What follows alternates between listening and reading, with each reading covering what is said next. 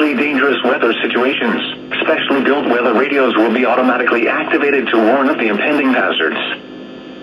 Of these radios and the warning alarm system will be conducted by the National Weather Service every Wednesday between 11 a.m. and noon. If there is a threat of severe weather, the test will be postponed to the next available good weather day.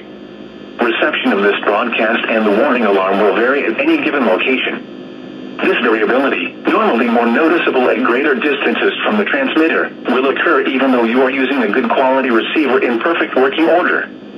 To provide the most consistent warning service possible, the warning alarm will only be activated for warnings in selected watches affecting the listening area.